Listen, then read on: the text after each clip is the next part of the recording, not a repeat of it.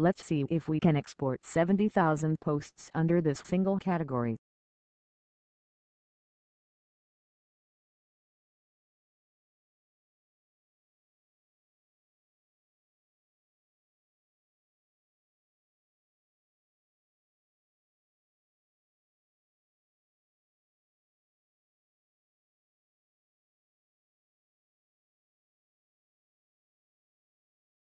Using WXR File Splitter, we can count how many posts are inside the export file.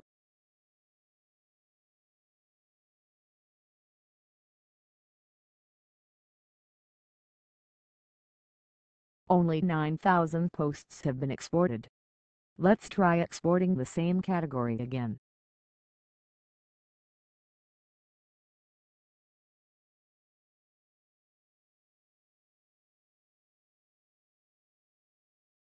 Appending number 02 to the export file name.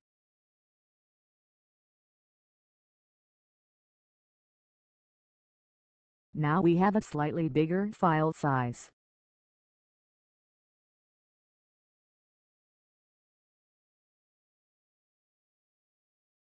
This difference and inconsistency indicate that WordPress cannot export 70,000 posts all at once.